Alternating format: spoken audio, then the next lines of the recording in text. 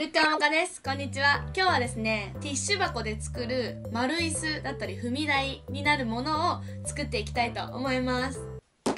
はい、こちらになります。これはね、ティッシュ箱の空き箱7つを使って作りました。とってもね、簡単だし、何より丈夫で軽いです。子供たちも運びやすいので、お手伝いしたい時にちょっと足の踏み台が欲しいなって思った時に自分で持ってって、それを自分で置いて踏み台にすることができます。あとはねご飯の時に椅子に座った後足がブラブラしてると少しね食べることに集中できない時があるんですね。なのでご飯の時は足がブラブラしないように足を地面につけて食べるとご飯集中して食べれるようになるんですけどもその時になかなか大人の机と椅子をこう調整するのは難しいと思うので踏み台を作ってあげるとすごく楽ちんです。なのでその踏み台になったり自分でお着替えを始める年頃1歳の後半だったり2歳ぐらいになった時にズボンを履く時に床に座ってズボンをこういう風に履くとちょっとね履きにくいんですけども少し高さのある椅子に座ってズボンを履くと履きやすくなります。でねさらにまるまるちゃんのお着替え用のお椅子だよっていう風に言うと特別感があってこの上に座ってお着替えするんだよっていうと少し楽しくなりませんか？なのでこれを使ってお着替えしたりするとお着替えがね進んだりすると思います。あとはおままごとのテーブルにすることもできます。いろんなものをね置いてテーブルにしたり太鼓のようにして遊ぶこともできるのでこれ一つあれば結構いろんなことに使うことができるのでよかったら作ってみてください。では作り方どうぞ。半分に切り込みを入れたら下はつなげたまんまでガシャンと。こんな風にやります。でここを潰します。はい一つをねこのような状態にします。はいそれでこれを7個同じものを作っていきます。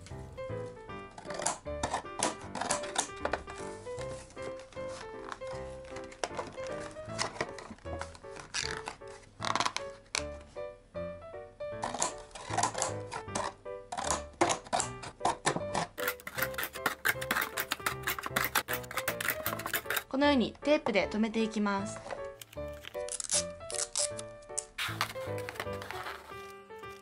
はいという感じでこんな感じに丸く作ることができました。つなぎ目のところをテープで貼ったんですけどもこの周りにもテープを貼りたいと思います。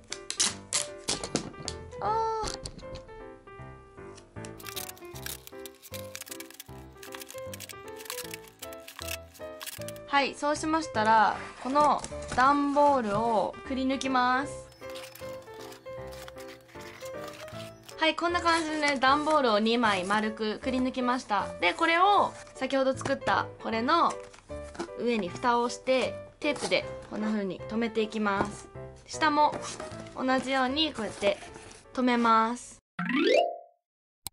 はいでは今ねこんな感じに出来上がったので周りを装飾していきたいと思います。丸なので普通にアンパンマンとかドラえもんとかそういうものでもね可愛いとは思うんですけどちょっと著作権的に アンパンマンちょっと危ないのでフルーツにしていきたいと思います。私はねスイカが好きなのでスイカの切り口の断面のところを再現していきたいと思います。はいでは周りを緑にしたいと思います。ガムテープがあればよかったんだけどビニールテープしかありませんでした。ビニールテープで周りつけていきます。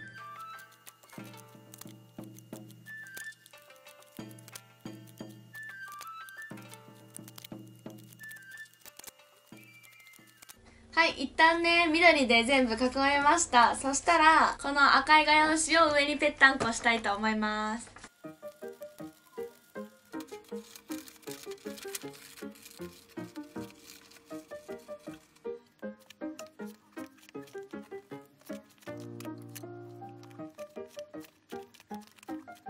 はい、こんな感じで丸っこく切れたので、ぺったんこしていきたいと思います。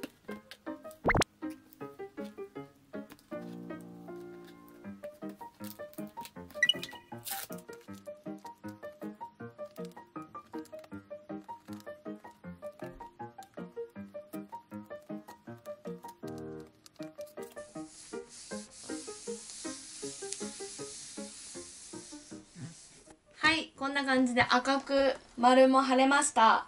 なんかさスイカっぽくないね。でもこの周りがちょっと白っぽい黄緑っぽくしたいのでペンで白くね縁をなぞりたいと思います。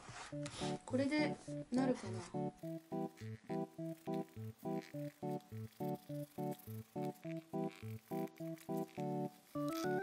はいこんな感じになりました。なんかあんまり。まあちょっと一回種を描いていきたいと思います。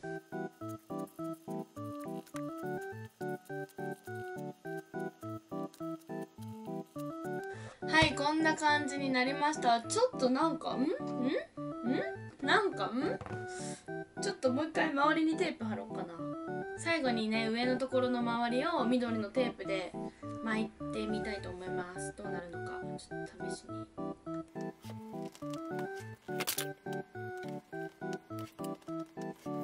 こうやってギュッて力を入れて引っ張りながらテープを貼るとこんな風にくっついてくれます。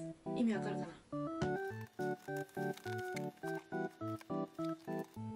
はいこんな感じになりました。まあまあまあまあ割といいかなというふうに思います。でね次は黒のビニールテープをスイカの模様につけていきたいと思います。ちょっとこれだと細いので2つ重ねてなみなみにねしていきたいと思います。こんな感じになみなみにしてこんな感じですね。もっとなみなみでもいいか。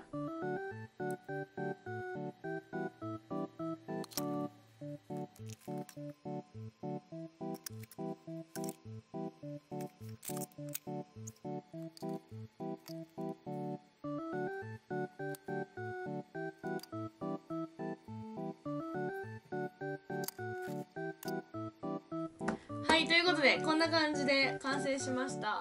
黒くね周りをビニールテープで貼りました。うん。まあまあスイカっぽくなったんじゃないかなっていうふうに思います。こちらで完成です。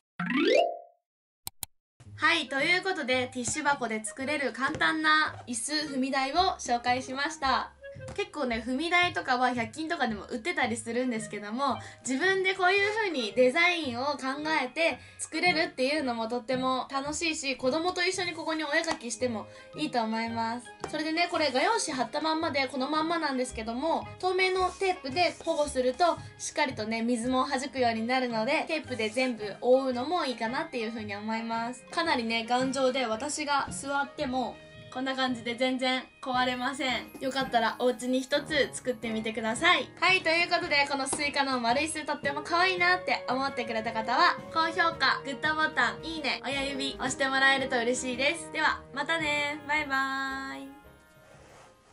チャンネル登録よろしくね。